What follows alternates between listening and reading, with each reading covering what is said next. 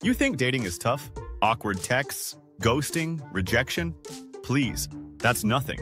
Imagine entering the world knowing that your one shot at romance is almost guaranteed to end with you being eaten alive. Welcome to the tragic, humiliating, and downright cursed life of the male redback spider. Strap in. This story is going to make your worst Tinder date look like a fairy tale. Your first memory isn't of warmth or safety, it's of chaos. You hatch inside an egg sac crammed with dozens of your siblings. It's dark, cramped, and your very first instinct is hunger. You're blind, weak, and soft-skinned. But that doesn't stop your brothers and sisters from trying to snack on you. Cannibalism isn't plan B in this family, it's the default setting. If you manage to crawl your way out of that nursery of nightmares, congratulations. You've survived your first brush with death, but it won't be your last. Outside the sac, the world is a minefield. Birds, wasps, ants, every creature with a mouth seems to have you on the menu. Even the breeze can kill you, flinging your tiny body into the jaws of a waiting predator. You're not a proud arachnid hunter yet. You're basically a crouton with legs. As you stumble through your early days, you start eating whatever microscopic prey you can manage. Tiny flies, gnats, maybe a dumb insect that wandered too close. Your survival strategy is simple. Hide, eat fast, and avoid being noticed. But as you grow, you notice something horrifying. Your sisters, yes, those same siblings who tried to eat you in the egg sac, are getting bigger, much bigger. Their legs stretch longer, their bodies swell, and their glossy black abdomens start glowing with that ominous red stripe. They're turning into giants. You, on the other hand? You stop growing early, permanently small, permanently fragile. Evolution has dealt you the cruelest hand imaginable. You're the snack-sized version of your own species. At full maturity, the female redback spider is 10 times your size. To put that in perspective, it's like a human guy showing up on a date with someone the size of a two-story house. And not just any house-sized creature, a house-sized creature that routinely kills and eats her partners. You? You're just a nervous, undersized bug with a biological clock ticking down like a time bomb. Males don't live long, maybe six to seven months if you're lucky. And every day of that short life is spent wandering, desperately searching for a female's web. That's not romance, that's a death march. Finding a female is the hardest road trip you'll ever take. You crawl across dangerous terrain, gardens, grasslands, the undersides of rocks, dodging predators at every turn. Birds swoop overhead. Lizards dart from cracks. Even ants patrol like armies looking for stray invaders. And through it all, you keep moving, guided only by faint chemical scents in the air, pheromones leading you to your fate. It could take days, weeks.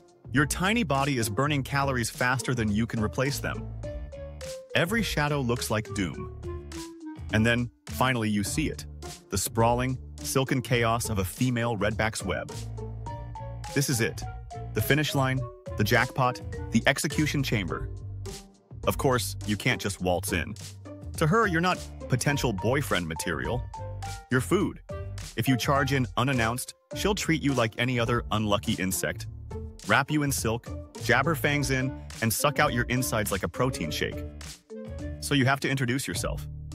You pluck at the threads of her web in a very specific way, sending out vibrations that say, Hey, not food, lover maybe? It's like knocking politely on the door of a haunted house, hoping the ghost decides not to murder you. Sometimes she ignores you. Sometimes she lunges anyway. But if the stars align and she's in the mood, she'll let you climb closer. Not because she cares, because she's curious. Approaching her is like walking into a gladiator arena unarmed. She towers over you, legs spread across her enormous web like the bars of a prison cell. Her abdomen is huge, glossy, striped in crimson, a warning sign to the world. You tremble, you hesitate, you pray, and then she doesn't kill you. Yet, instead, she allows you to climb onto her back. For a split second, you feel like the luckiest spider alive. But here's the punchline this is not a happy ending. This is the beginning of the end. See, redback mating has a unique twist. Midway through the act, you, yes, you, the male, perform a dramatic flip. You literally swing your tiny body upside down and press your abdomen directly into her fangs, on purpose. Because while she's chewing through your guts, your sperm transfer actually lasts longer, giving you a slightly better chance of fathering her offspring. It's the biological equivalent of holding the door open for someone who's about to stab you. And here's the kicker. If you don't sacrifice yourself, she might reject you entirely. Evolution has hardwired you to throw yourself into the meat grinder. Love hurts, but in your case, it kills. As she devours you alive, she continues mating. Your body twitches, your legs curl, your life drains away. And she, she's unfazed. To her, you're not a partner. You're a protein supplement, a post-date snack. And the worst part? She benefits more from killing you. A male redback that sacrifices himself increases the chances that his genes, and his genes alone, fertilize her eggs. In short, dying is your best shot at fatherhood. Romance, redback style. Very rarely, a male survives the ordeal. Maybe she's distracted. Maybe she's already full. But even then, don't get too comfortable. Survivors usually die shortly afterward from exhaustion, injuries, or because they stumble into another hungry female's web.